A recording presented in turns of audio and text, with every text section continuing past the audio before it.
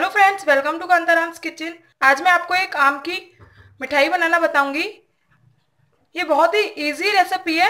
इसमें मैंने ज़्यादा इंग्रेडिएंट्स का यूज़ नहीं किया है। मैंने ना तो इसमें घी, ना मावा का यूज़ किया है। मैं आज आम और नारियल की बर्फ़ी बनाने वाली हूँ। तो देखते हैं मैंने ये बर्फ़ी बनाने के लिए क्या क्या लिया है। तो मैंने बनाने के लिए लिया है एक कप मैंगो पल्प ये पल्प बनाने के लिए मैंने आम को छील कर, उसे मिक्सी में पीस लिया है और इसे पीसने के लिए मैंने इसमें बिल्कुल भी पानी का यूज़ नहीं किया है।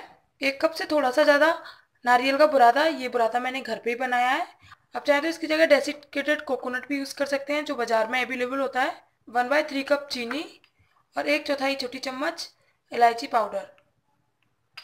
सबसे पहले मैंने गैस पे एक कढ़ाई रखी है। मैं इसमें अपना मैंगो का पल्प डाल दूँगी। उसके बाद इसमें चीनी डाल दूँगी। और इसे अच्छे से मिलाऊँगी दोनों चीज़ों को।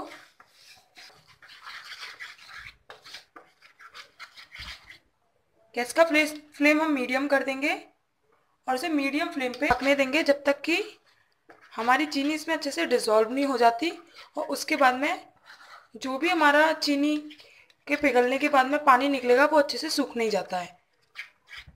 आप देख सकते हैं, चीनी थोड़ी थोड़ी पिघलने लगी है। इसमें मुश्किल से एक मिनट से भी कम टाइम लगता है। चीनी पिघल चुकी है। अब मैं इसको जो ये आप देख रहे हैं, जो हमारा ये मिक्सचर है, वो थोड़ा सा गाढ़ा हो जाएगा, तब तक हम इसे पकाएँगे और इसका कलर भी डार्क होने लगेगा। पर आप ये याद रखें कि आप इसे बीच बीच में चलाते रहें। चलाना बहुत ज़रूरी है, वरना ये लग जाएगा। गैस का फ्लेम आप मीडियम ही रखें। ये हो चुका है। आप देख सकते हैं, ये बहुत अच्छे से गाढ़ा हो चुका है। देख कलर भी इसका काफ़ी डार्क हो गया है। अब मैं इसमें अपना नारियल का पाउडर डालूँगी।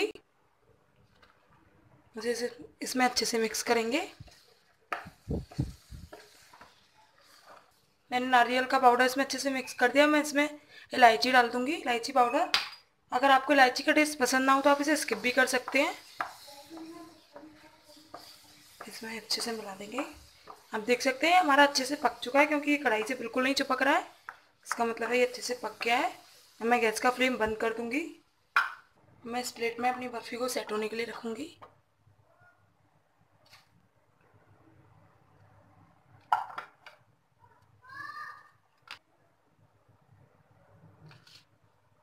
मैंने इसे इसमें सेट कर लिया, इसकी थोड़ी सी मोटी लेयर रखी है। आप जिस भी हिसाब से अपनी मोटी बर्फ़ी रखना चाहते हैं, उस हिसाब से इसकी लेयर रखें। मैं इसमें थोड़े से ड्राई फ्रूट्स डालूँगी ऊपर से। ये कम्प्लीटली ऑप्शनल है, अगर आप नहीं डालना चाहें तो ना डालें।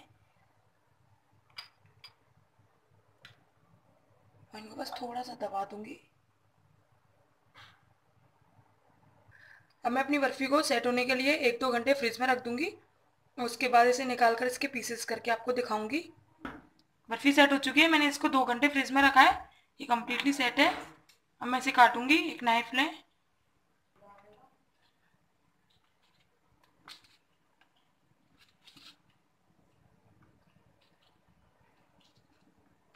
आप अपने हिसाब से किसी भी साइज़ में पीस काट सकते हैं। मैं आपको निकाल के दिखाती हूँ। देखिए, ये बर्फ़ी तैयार है। एकदम परफेक्ट बर्फ़ी बनी है। तो आप ये बर्फ़ी की रेसिपी को एक बार ज़रूर ट्राई करें। ये बहुत इजी रेसिपी है। पाँच मिनट में बन जाती है। इसके लिए ज़्यादा इंग्रेडिएंट्स नहीं चाहिए होते हमें। इसके सेट होने के लिए भी ज़्यादा टाइम नहीं लगता। एक से दो घंटे के अंदर अंदर ये सेट हो जाती है। आप ये बर्फ़ी की रेसिपी एक बार ज़रूर ट्राई करें और अगर आपको अच्छी लगे तो मेरी वीडियो को लाइक करें शेयर करें और मेरे चैनल को सब्सक्राइब करें।